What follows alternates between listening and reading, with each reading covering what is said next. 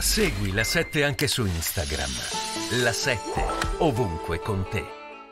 Tutti. Allora, sono molto contenta che tu sia qua perché ho promesso ai miei telespettatori che a questo punto arrivava una buona notizia. E in effetti sei qua per raccontarci, spiegarci quanto la notizia che voglio dare è una buona notizia.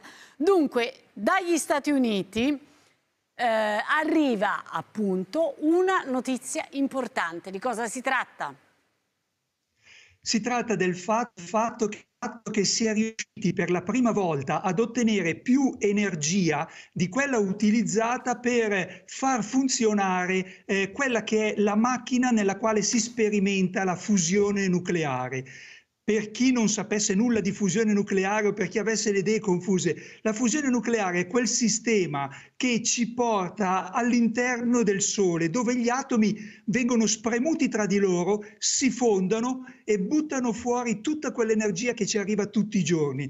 L'uomo sta provando a fare questo, però è difficilissimo perché nel Sole ci sono temperature di milioni di gradi, ci sono pressioni elevatissime e tutto questo lo dobbiamo riprodurre in laboratorio.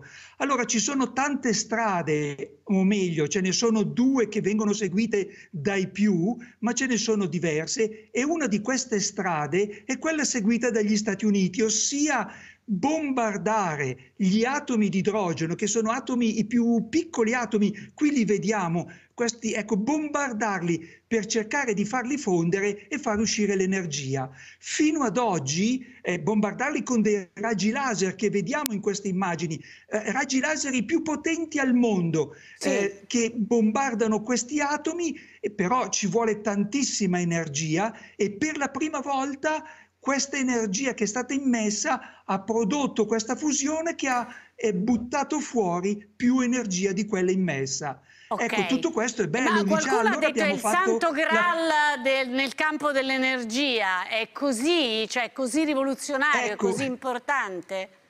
È molto importante, però attenzione bene, per creare una centrale, costruire una centrale a fusione nucleare, noi siamo in una, in una situazione simile a questa. Immaginate di voler costruire un'automobile, non, non sappiamo ancora come si fa, noi stiamo lavorando dentro un pistone dell'automobile. Stiamo cercando di far bruciare la benzina dentro un pistone. Se ci riusciamo, come, hanno, come sono riusciti in America, beh, dovremo poi costruire il motore e quindi passeranno anni, anni, anni e poi finalmente costruiremo l'automobile.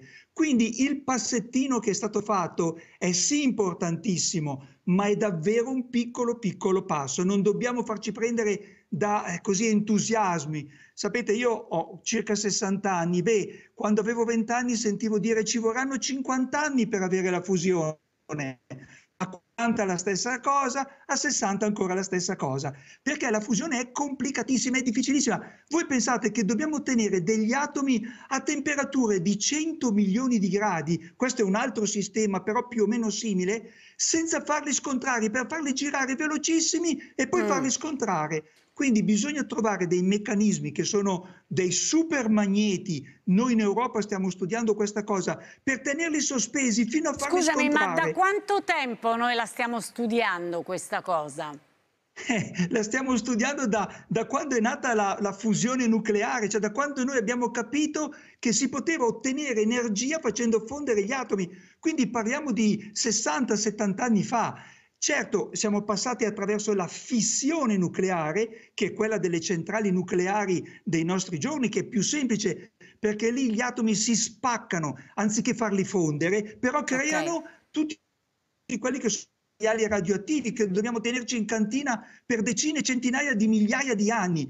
Questa fusione invece non produce scorie o comunque ne produce pochissime e che decadono in brevissimo tempo. Quindi scusami, la differenza pericolo. diciamo con l'energia nucleare che, che utilizziamo oggi è intanto differenza significativa rispetto alle scorie, se capisco bene, giusto? Esattamente, niente scorie, sopra, prima cosa. Seconda cosa, nessun pericolo, perché Mentre nella fissione, cioè quella dei nostri giorni, è difficile bloccare il meccanismo. A Chernobyl non si è riusciti a bloccare il meccanismo della fissione. Qui invece, se succede un incidente, si spegne tutto di colpo e quindi non può esplodere. Questo è il secondo grande elemento Terzo elemento, utilizziamo dei minerali, de, degli atomi, scusate, che sono abbondantissimi. L'idrogeno lo troviamo negli oceani.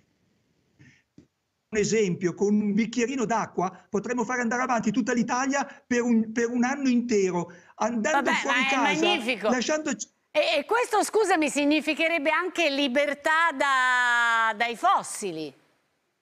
Assolutamente, totale libertà. A quando arriveremo alla fusione, purtroppo né lei, guardi, e nemmeno io accenderemo la Mi nostra lampadina lei per con prendere le centrali a fusione distanze, nucleare, già e questo non è da- bello.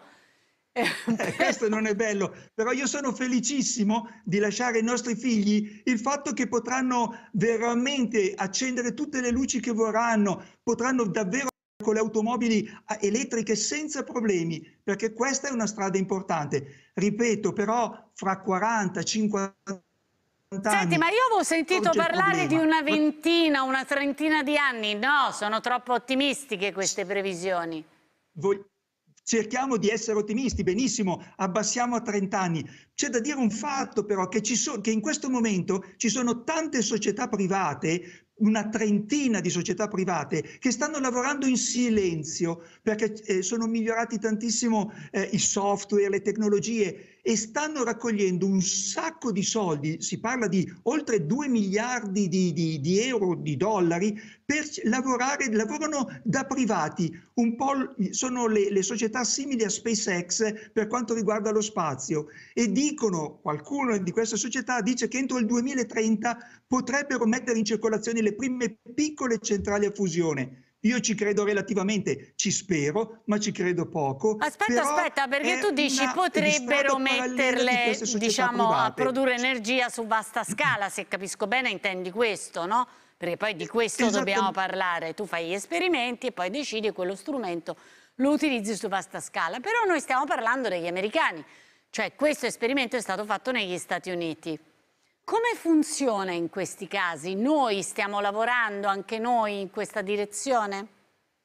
Sì, noi stiamo lavorando con il più grande progetto al mondo che si trova in Francia, è il progetto chiamato ITER, un progetto dove c'è l'Europa, ci sono gli Stati Uniti, il Giappone, eh, ci sono tantissime nazioni. Lì si usa, si studia un altro sistema, il sistema dove anziché far fondere gli atomi bombardandoli con eh, il laser, lì vengono fatti scontrare all'interno di macchine gigantesche che si chiamano macchine toroidali e, e hanno la forma, eh, diciamo, di una ciambella, dove dei campi magnetici fortissimi fanno scontrare poi gli atomi. Quindi è una strada parallela. E però eh, siamo veramente un po' agli inizi perché non abbiamo ancora finito di, co- di costruire quello che sarà il nostro pistone dell'automobile, cioè dove impareremo a fare la fusione. Soltanto quando si, avremo imparato, e qui parliamo di almeno 2035, dopodiché si costruirà il motore della nostra automobile qui in Europa e quindi andremo nel 2040, 2040 e soltanto, ecco perché dico 2050. Ecco perché i nipoti dici, eh? Mi sa che i nipotini. Senti, ehm, da ultimo ti chiedo